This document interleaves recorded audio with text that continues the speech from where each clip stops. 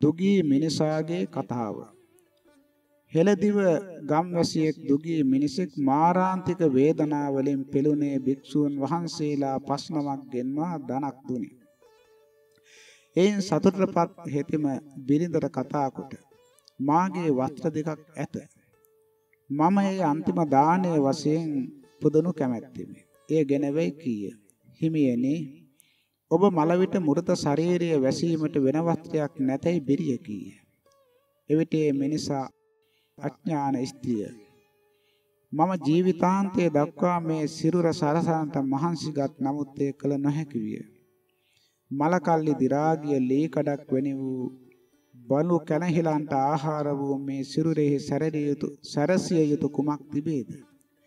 පින් කිරීම ඊට වඩා යෙහිකයි කියා එය ගෙන්වාගෙන සංඝයාට පූජා කළේ.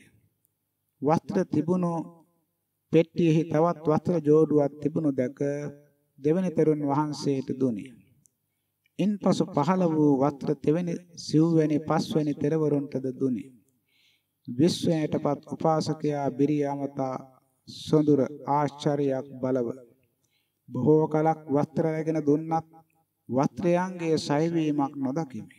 එබැවින් බුදුරජාණන් වහන්සේ විසින් දදතෝ පුඤ්ඤම් පවඩ්ඩති අනාදිය දේශන ලදී. දෙන්නාට පින වැඩි. ඉක්බිති අන්‍ය භික්ෂුන් වහන්සේලාද ගෙන්වා වස්ත්‍ර විකුණාගත් මුදලින් දන් සපයා වස්ත්‍රද පිදීය. යම් යම් භික්ෂුන් වහන්සේ නමක් සිවුරු සඳහා වස්ත්‍ර කැමති වී නම් උන්වහන්සේලාගේ පාත්‍ර පුරවා වස්ත්‍ර දුනි. මෙසේ 12000ක් භික්ෂුන් වහන්සේලාට වස්ත්‍ර දෙන ලදී.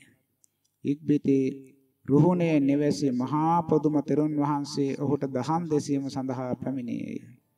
උන්වහන්සේ චතු ධාතු අවස්ථානයේ දේශන විට උපාසකතුමා අනාගාමී ඵලයටපත් විය.